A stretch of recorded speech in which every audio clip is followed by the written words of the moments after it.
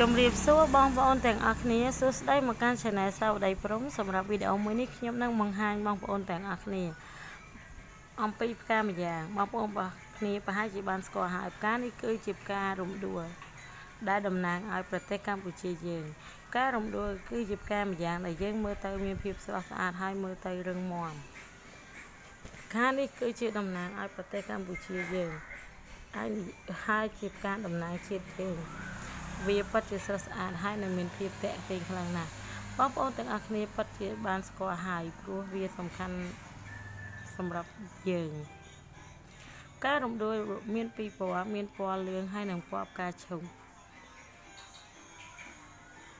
បន្តទៅទៀតនេះសូមទស្សនានៅកម្រងរូបភាពដ៏ស្រស់ស្អាតរបស់ការរំដួលរបស់យើងតទៅទៀតនេះ